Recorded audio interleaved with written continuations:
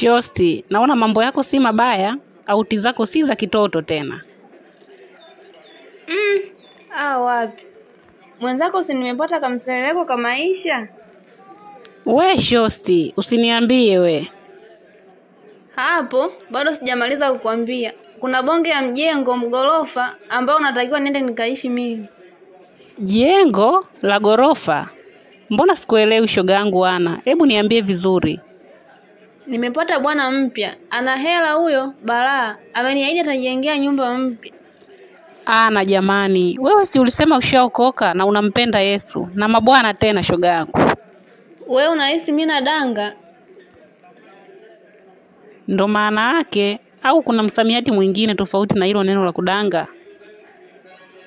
Utasubiri sana shoga yangu, labda nikwambie tu, mchunga kondoo amedata na kondoo wake. Unamaanisha nini? Yaani asikwambie mtu, mchungaji amenielewa ile mbaya, yupo tayari hata ndoa yake ivunjike. Ana jamani, ushaenda hadi kuwavuruga watumishi wa Mungu. Mbona unapenda kuwatia majaribuni watumishi? Achana na hilo, kuna jambo la msingi ambalo nimekuitia hapa, naomba msaada wako. Ehe, niambie, jambo gani hilo? Kuna mchezo nataka tuucheze mimi na wewe.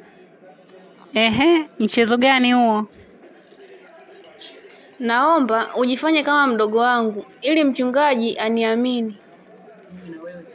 Nataka nimtengenezee stori kuwa hapa duniani tumebaki mimi na wewe tu, ndugu zetu washafariki.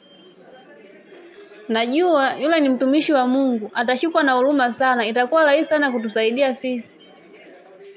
Ana hela lakini, maana tusije tukapoteza muda tu na maigizo yetu, ukanifanya mimi nipoteze hata hii kazi ya ubahamedi nije kwako, kumbe hamna kitu cha maana.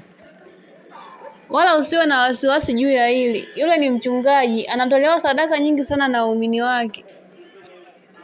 Nataka tuzitafune hizi hela mpaka ajute kutufahamu.